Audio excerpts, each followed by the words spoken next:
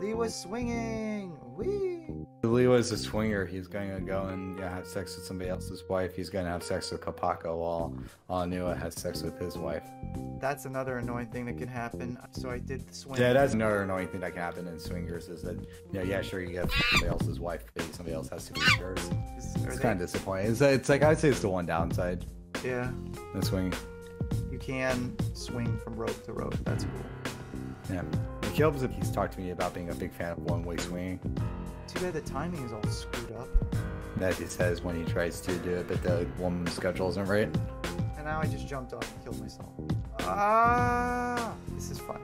Caleb for the past 20 minutes. Ah, I don't like this game. I don't like this game. This is fun. Let me say this: like the producer of the Spider-Man and the Venom movies, Avi Arad.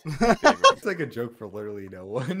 that joke literally appeals to no one. Except No, it- yeah, but me, I because I'm such a Spider-Man, especially Sony Spider-Man fan, that I I know. yeah. that- th- th- in fact, this joke is the most specific to Caleb joke in existence. yeah. Caleb yeah, it. because it's like I uh, because it's like I mean Arab I'm like uh, kind of like vaguely familiar with, but then Caleb is like intimately familiar I'm with. like Spider-Man Caleb- movies. He produced Caleb all been- the yeah. Raimi films. Caleb has been intimate with Avi Arad. Yeah. Yep.